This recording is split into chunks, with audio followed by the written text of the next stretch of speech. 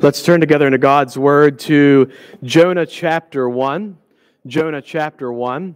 We're continuing our series on the pillars of the faith. Now, if you look at your outline, uh, you may swallow hard because I have three main points with three points under each three main points, which my quick math is nine points. Um, no, we're just going to take each of these sections uh, as their own. And I really, actually, as I headed into this sermon, didn't think I would spend you know, Jonah's pretty concise story, an easy one to tell, quick. You know, with our with our pillars of the faith, this one would move pretty quickly. But Jonah's message to Nineveh is one of repentance. But the message of the book of Jonah is a living illustration of repentance. Jonah, his life, preaches repentance and a picture of what that process looks like. And so today we're going to start with the issue of sin, as Barney Fife was once quoted saying in an episode of Andy Griffith. Uh, that's a topic you can't talk too much about. Uh, sin is certainly uh, a, topic that, that we need to confront. But here's here's the reality. Let me just cut to the quick. When Jesus died on the cross for our sins, he relieved us of the penalty of sin. Praise the Lord that our account, our debt for sin was paid and its penalty was paid. But Jesus' victory over sin goes to more than just taking care of the penalty, it deals with sin itself. And as a follower of Christ, as one who knows Jesus as my Lord, his precious blood isn't just available to cancel the debt, but to set me free from sin now. Now, as a human being, we all sin and fall short of the glory of God, and we all struggle with sin, but I don't need to live as its dog. I don't need to live in its bondage. And the power of Christ in my life and a life lived with a repentant heart, a contrite and daily repentant heart, can confront the matter of sin and we can experience that victory of Christ over sin now. And the life of Jonah will illustrate the depth and ugliness of sin. Here's this prophet, this great man of God who falls hard and far. Then we'll see his journey of repentance in the belly of the whale. But we'll also see life after repentance, too. And we're going to look at each one of those topics. Today, we're going to look at sin. And we're going to look primarily at Jonah chapter 1. Let's take a look at that together. Jonah chapter 1. The word of the Lord came to Jonah, son of Amittai. Go to the great city of Nineveh and preach against it because its wickedness has come up before me. But Jonah ran away from the Lord and headed to Tarshish. He went down to Joppa, where he found a ship bound for that port. After paying the fare, he went aboard and sailed for Tarshish to flee from the Lord. Then the Lord sent a great wind on the sea, and such a violent storm arose that the ship threatened to break up. All the sailors were afraid, and each cried out to his own God, and they threw the cargo into the sea to lighten the ship. But Jonah had gone below deck, where he lay down and fell into a deep sleep. The captain went to him and said, can you how can you sleep? Get up and call on your god. Maybe he will take notice of us and we will not perish. Then the sailors said to each other come let us cast lots to find out who is responsible for this calamity. They cast lots and the lot fell on jonah. So they asked him tell us who is responsible for making all this trouble for us? What do you do? Where do you come from? What is your country? From what people are you? He answered, I am a Hebrew, and I worship the Lord, the God of heaven, who made the sea and the land. This terrified them, and they asked, What have you done? They knew he was running from, away from the Lord because he had already told them so. The sea was getting rougher and rougher. So they asked him, what should we do to make the sea calm down for us? Pick me up and throw me into the sea, replied, and it will become calm. I know that it is my fault that this great storm has come upon you. Instead, the men did their best to row back to the land, But they could not, for the sea grew even wilder than before. Then they cried to Lord, O Lord, please do not let us die for taking this man's life. Do not hold us accountable for killing an innocent man. For you, O Lord, have done as you pleased. Then they took Jonah and threw him overboard, and the raging sea grew calm. At this, the men greatly feared the Lord, and they offered a sacrifice to the Lord and made vows to him. But the Lord provided a great fish to swallow Jonah, and Jonah was inside the fish for three days and three nights. Now, very quickly, I think most of us know the rest of the story. He in chapter two, Jonah prays a, an amazing prayer of repentance, an acknowledgement of the sovereignty of God and God's goodness, even in the in the belly of, of the whale, in the belly of the great fish. Then he's vomited up on the shore, and God calls to him again to go to Nineveh and preach, and he does. And there's a great revival there. In fact, they even put the animals in sackcloth. That's how sincere they are in repenting in Nineveh, the, the, the capital of the Assyrians.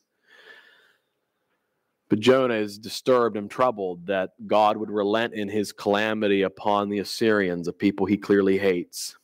And he goes out outside the city and he pouts, and God uses a vine to teach Jonah the lesson that God cares for people, even the animals too, and that his desires at all would come to him. And so that's the story of Jonah. And with that in mind, let's pray. Father, we thank you. Lord, we, we go before you and we're gonna we're gonna look an ugly topic in the face, sin. But we do so for the sake of freedom.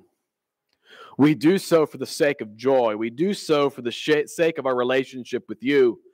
Today, as your people, I know the, the quality of the hearts of the people who, who are here today and are willing to do that hard work, are willing to, to, to talk about those uncomfortable things. They don't come to have their ears tickled, but their, their souls transformed.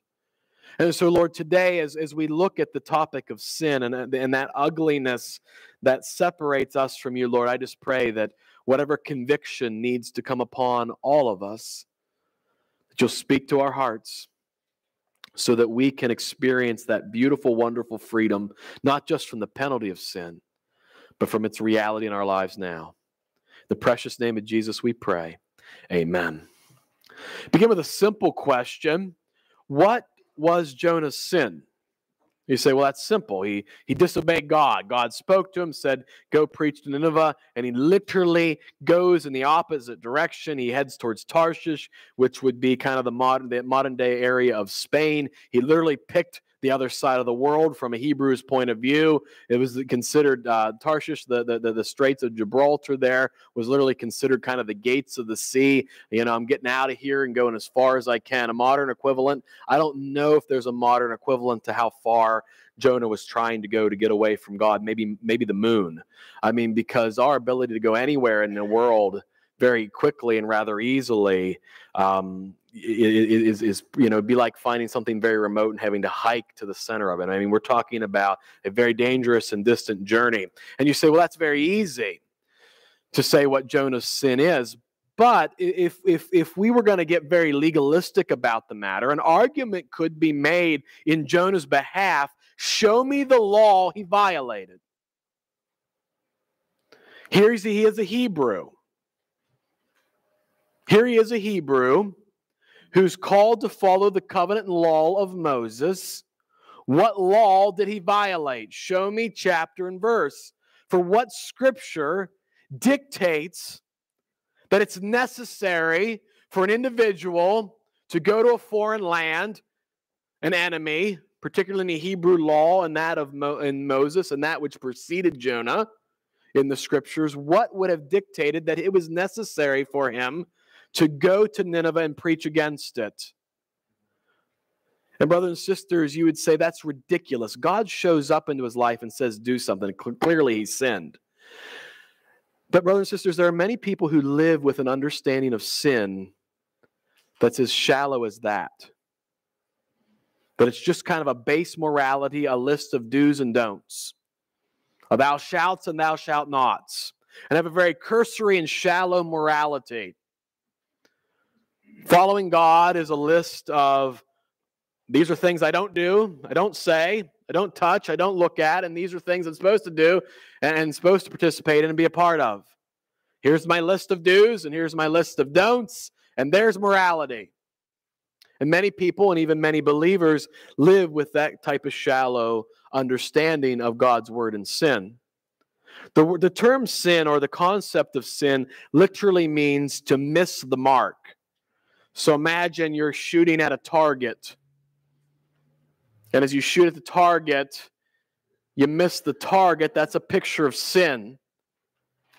That here's where I'm to aim. This is the center of where I'm supposed to be.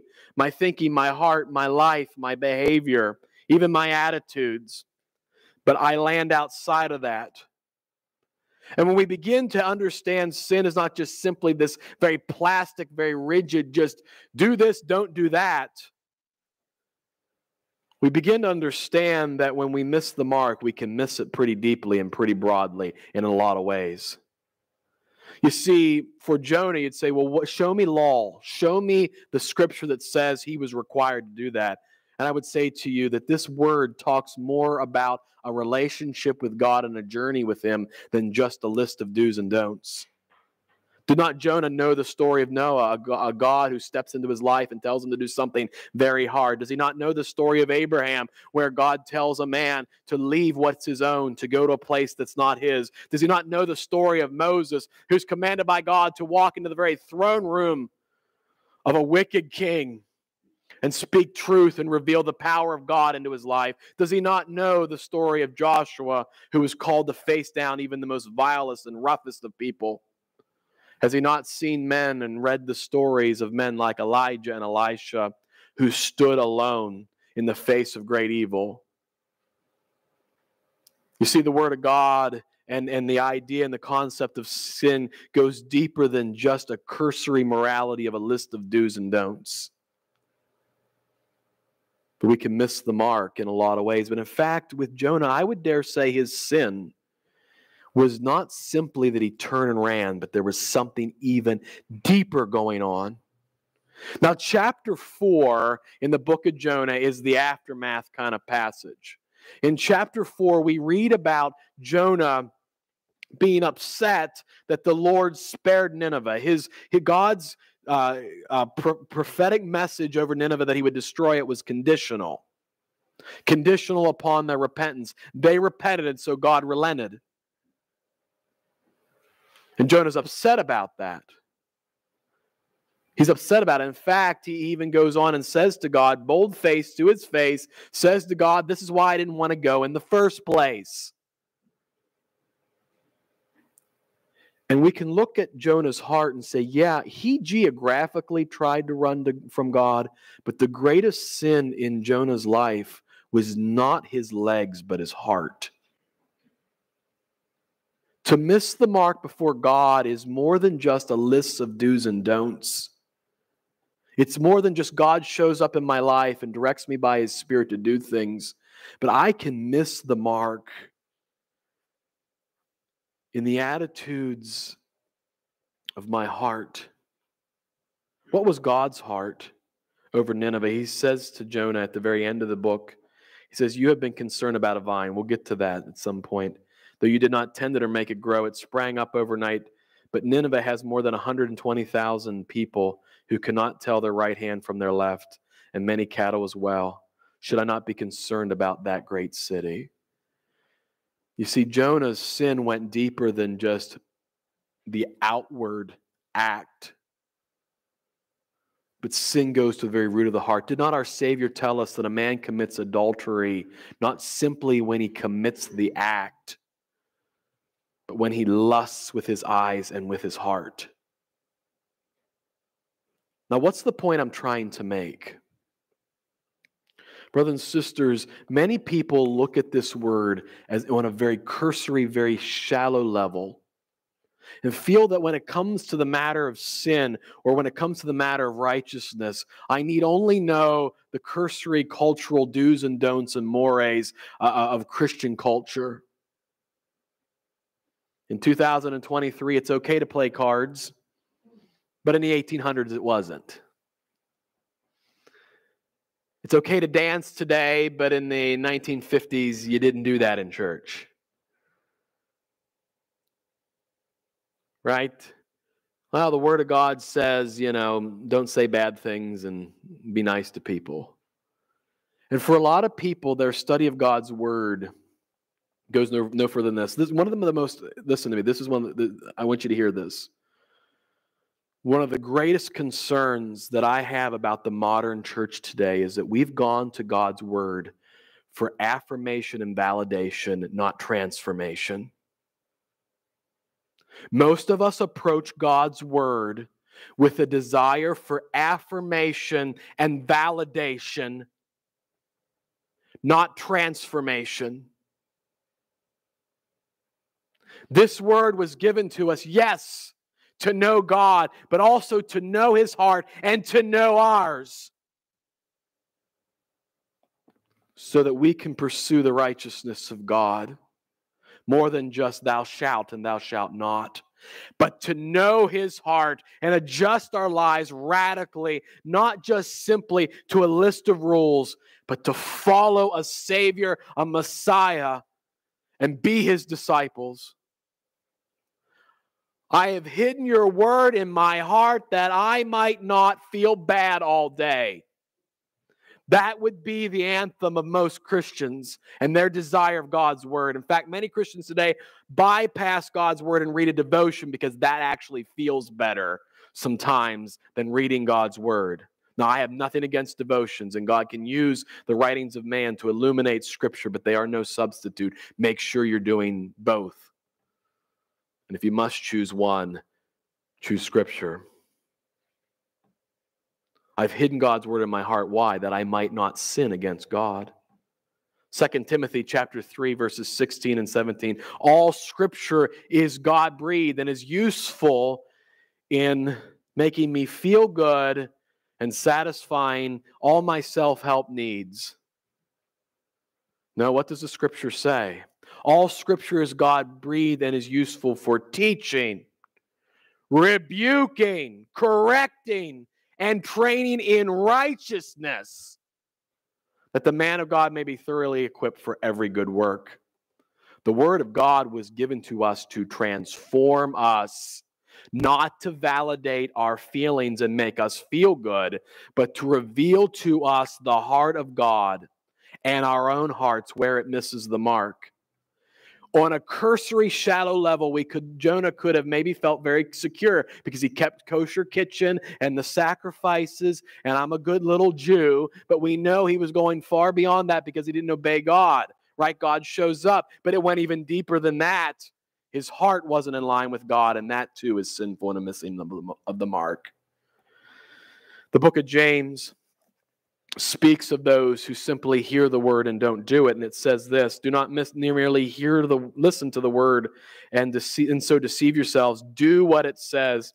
Anyone who listens to the word but does not do what it says is like a man who looks at his face in the mirror and after looking at himself goes away immediately and forgets what he looks like but the man who looks intently into the perfect law that gives freedom and continues to do this, not forgetting what he has heard, but doing it, he will be blessed in what he does. That's the modern view. We go into this word and we go, oh, and then we walk away and we forget what we look like.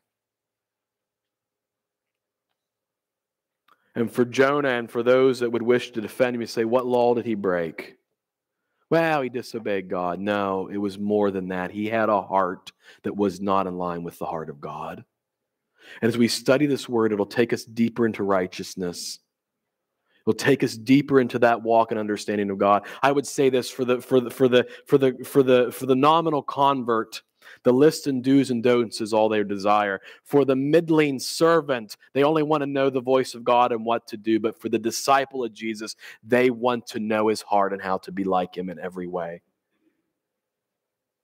And this word, studying it, meditating on it, Jeremy's opening was talking about the endless nature of the precepts of God, that it's not shallow, it's not cursory but that the, the, the, ardent servant of God who wants to deal with the sin in his life and experience freedom goes to this law that gives freedom, goes to this word that gives freedom, not to be affirmed, not to be validated, but to be transformed daily.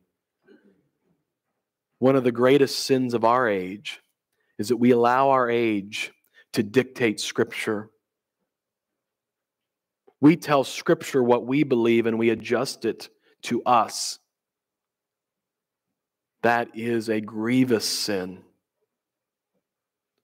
Brothers and sisters, how sweet it is for the man or woman of God to let the Word of God speak to their heart and change them,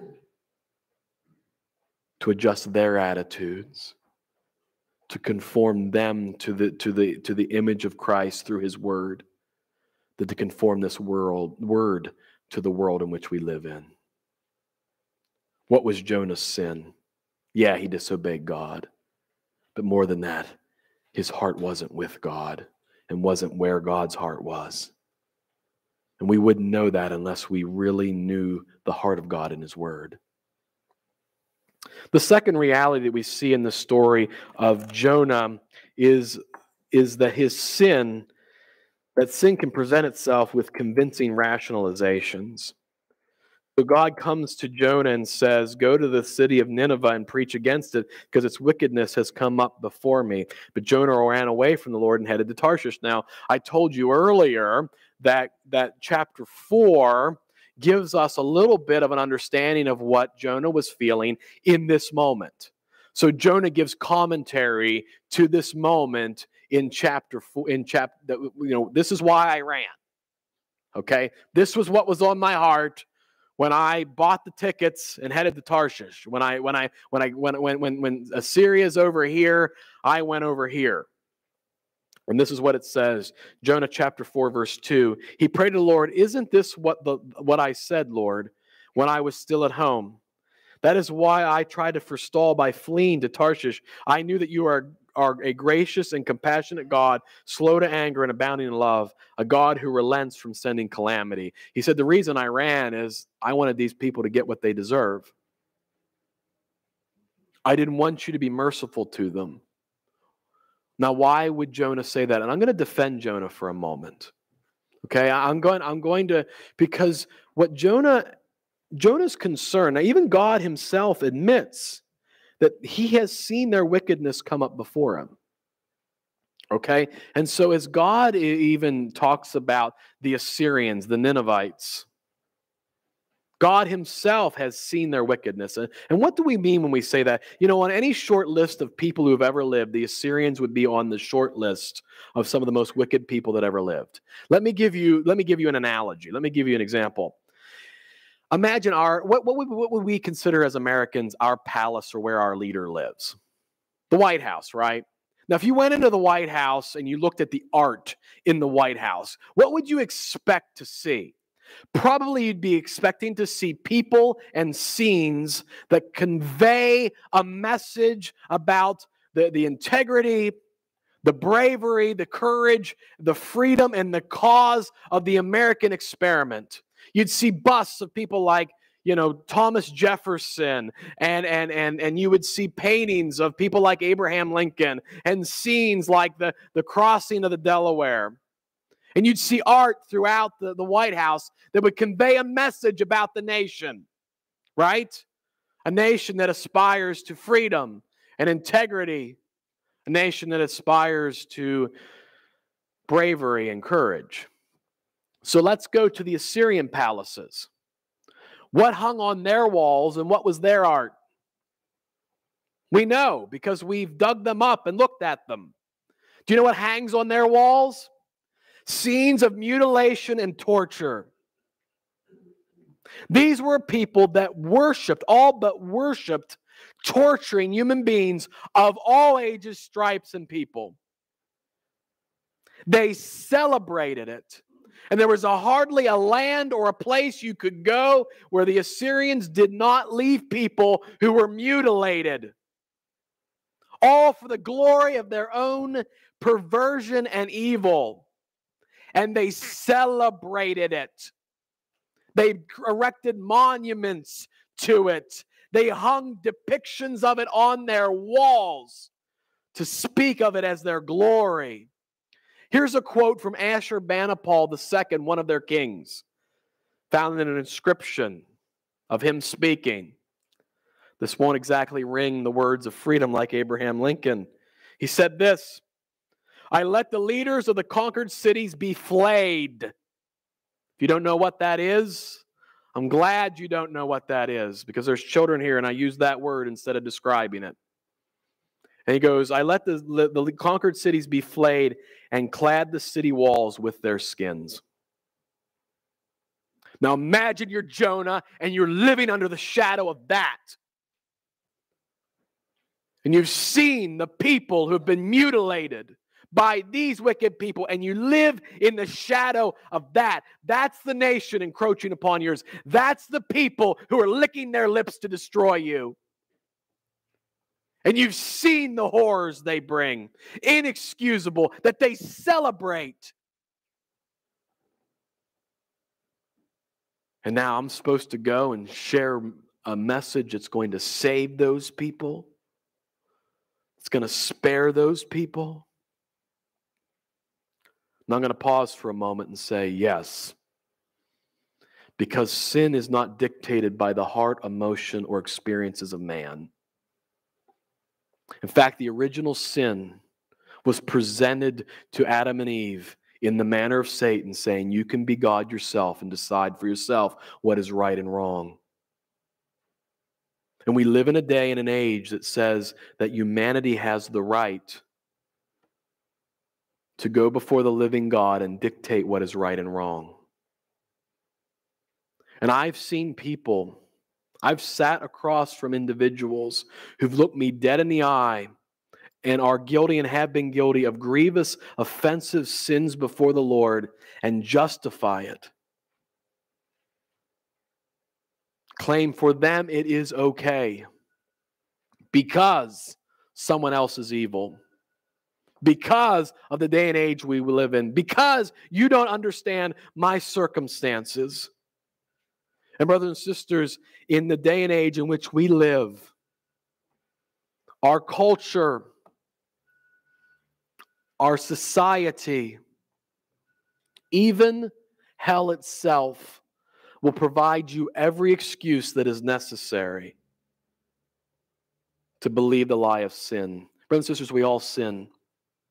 Okay, there are moments when sin, we, we, we, we, sinners sin. And until we're with Christ one day and fully sanctified, that will, that will be a struggle we'll always fight. But, brothers and sisters, sin continues because of the lie we tell ourselves. Continuous, repetitive sin is born out of lies. The rationalizations we tell our hearts and our minds. Satan is the father of lies. And he keeps us in sin by enticing us to buy the lie. And sin has no more power, and Satan has no more power than that which we're willing to give him, and that which we're willing to give sin. And the, and the, and the, and, and, and the, the mental gymnastics that we're willing to do to excuse our behavior in our marriages. Let's just take marriage as an example. When we sin within our marriages, what's always the rationalization? 99% of the time, it's because they did this, therefore I'm justified in that. That's just stupid and a lie. Another sin does not justify my own.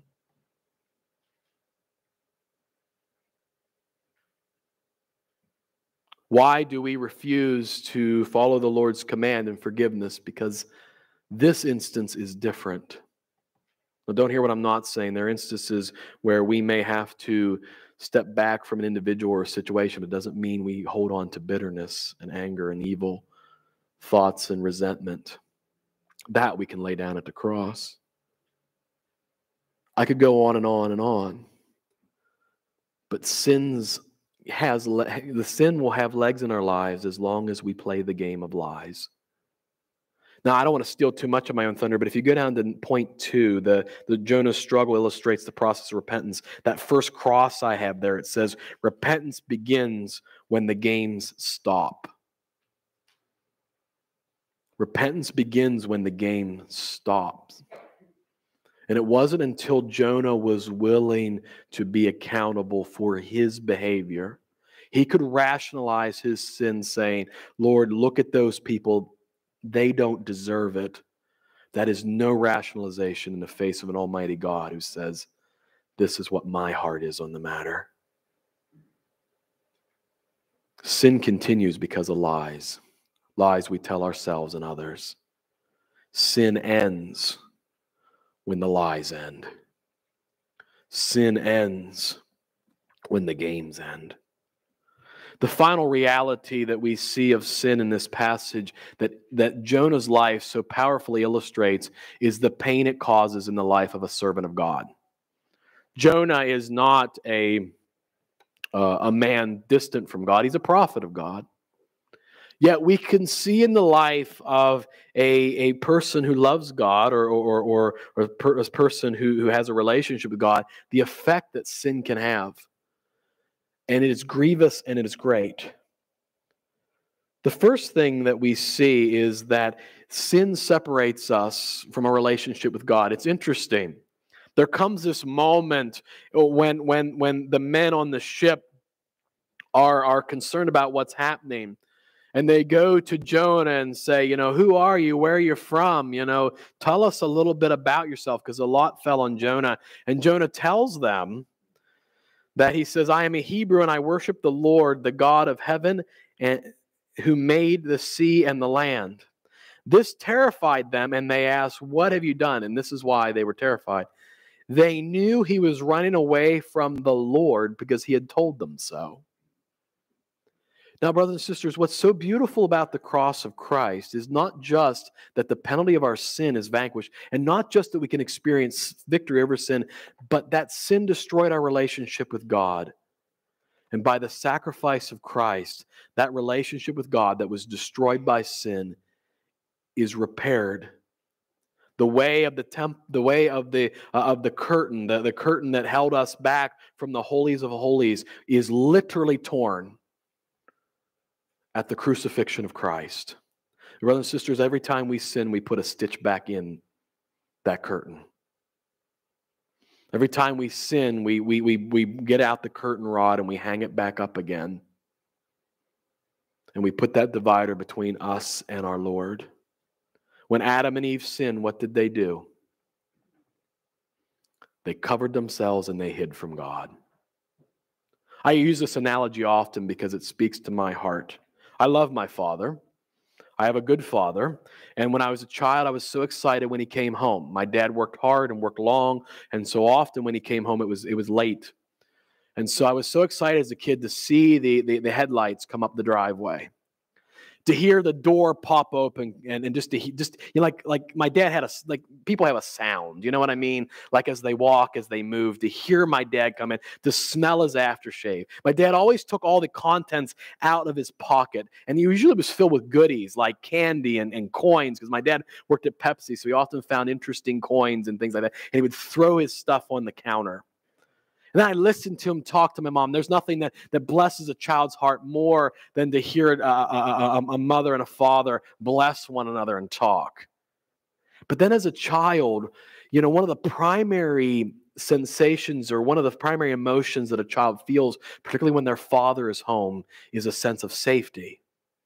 One of the things that a father provides for his children is that sense, that most primal need to feel safe and it's one of the primary gifts that the presence of a father provides for a child is a sense of safety. And I remember dad being home and there was just kind of like, ah, dad's home. That was many nights. There were a lot of other nights where I had sinned that day. And those headlights were not welcomed with joy.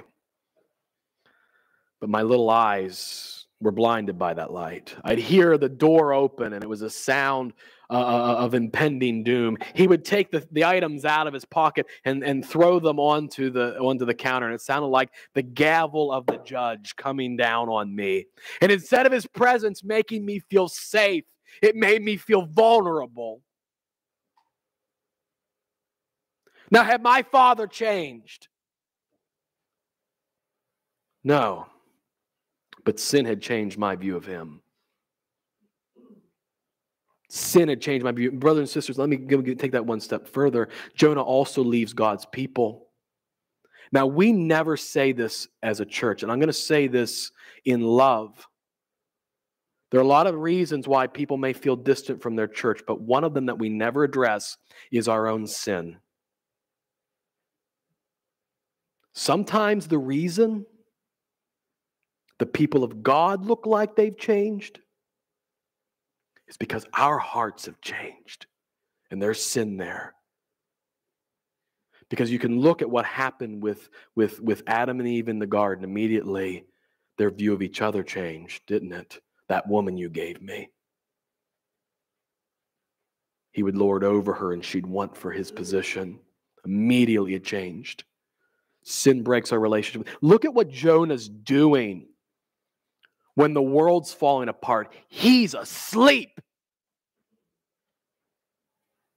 I mean, the captain's like, How can you do that? That's how hard it made his heart. He cared nothing for what was happening right around him, the people that were suffering, nor what God's activity was. He slept a deep sleep. He had to be roused from it. And sin deadens our hearts to God and one another, but it also deadens our heart to his mission. Think about the glorious joys Jonah could have experienced if he had obeyed and gone straight to Nineveh the lives that could be changed. And nothing takes us from the center of God's will and his mission and work more than sin. But as well, and we don't want to admit this, but sin also affects others. Look at the cost to others that sin caused. We think sin is a self contained disease. In fact, many preachers will compare sin to cancer. And I think that's a good analogy within the individual. But where that analogy falls short is that cancer tends to be self contained, it remains with the individual. In ancient times, they often compared sin to leprosy. Its impact went far beyond just the individual that had it. And the influence of our lives and the impact on our own heart and soul shows up in the lives of others. So is God's discipline. And tell me that God's discipline over a man's life may not affect his family as well. The scriptures show that again and again, do they not?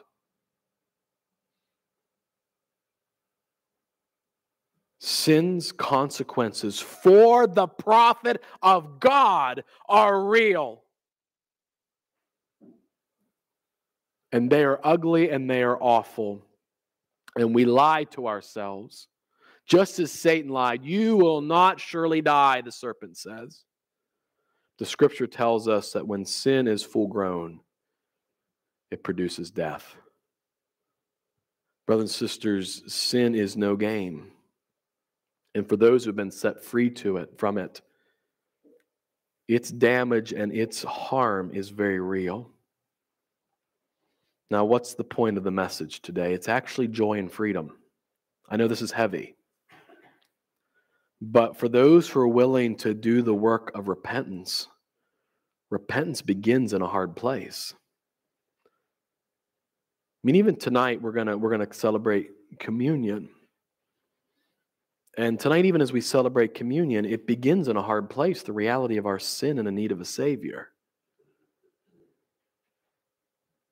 And as we look at a life that seeks to live free from sin, we have to be honest with ourselves and with God and call it what it is. It is the great evil that keeps us from God and one another. It is the curse. And it is the thing that we ought to. If I, I heard it once said, it was a quote about or the early church that early Christians feared nothing but one thing the Christians feared nothing but one thing. And do you know what that one thing was? Sin.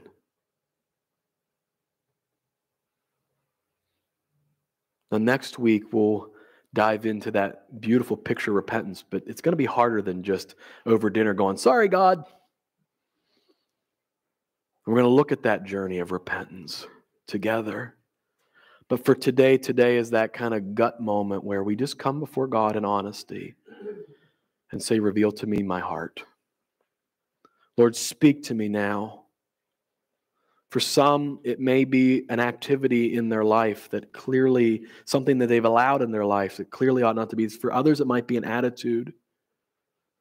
Maybe there's an arrogance that slipped into our hearts that keeps us from the full fellowship of believers. Maybe there is an attitude towards other people in our lives that's not lining up with the target of Jesus Christ.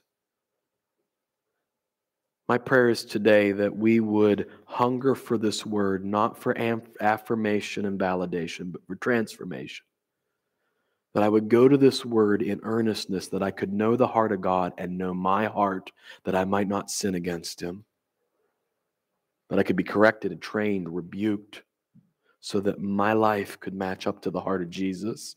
Secondly, I would put down the lies. Our world lies so much about what sin is and what isn't. We don't need to help. The lies need to end. Sin continues where lies continue. But then finally, to swallow hard. God's discipline for sin for those he loves is real. The consequence for to our relationship with God and others and brothers and sisters in Christ is real the penalty for our sin in the lives of other people is real. And it's not a trifling. Brothers and sisters, our Savior is amazing, isn't he? We're going to sing in a moment that song, Whiter Than Snow, right? Christ came and he gave his life and paid the price for sin. You say, Pastor, why are we staying there? Why do we have to talk about that when Christ set us free? It's because the sinful capacity of the human heart to return to the vomit of sin is still there. And we got to call it what it is and show it for what it is so that each and every one of us can experience not just one day the penalty of sin being released, but now its bondage. May the precious blood of Jesus Christ wash us whiter than snow today. Amen and amen. Let's pray. Father God, we thank you for the story of Jonah. We often depict this story in a kiddish kind of way. It's a fun story that kids love, and there's nothing wrong with that, Lord. But we, we are grown up and we put childish things behind us. This is real stuff. This is more than just the novelty of a man being swallowed by a, a, a large sea creature, a, a whale, or a large fish. This is a story about a man who disobeyed you, and in chapter one, we see the seeds of that, the consequences of that, and it's no joke. Lord, illuminate our hearts. You say, Blessed are those who mourn for they will be comforted. Lord, we have chosen to grieve over our sin today, to do that real work. Joy's coming, Lord. More encouraging messages are coming, but Lord, we as your church, we want to have our hearts aligned with yours. So we're not afraid to do this work, Lord the work of looking into your word, the, the, the work of, of letting your spirit convict us of, of, of judgment, righteousness, and sin, the work of being willing to adjust our lives to the heart and the way of the living God. And Lord, we will expend our lives seeking to be more like you. Keep our hearts repentant. Keep our hearts tender. Keep our necks pliable and not stiff, Lord. And keep us walking with you every day. In the precious name of Jesus, we pray. Amen. Let's stand together. Number 310.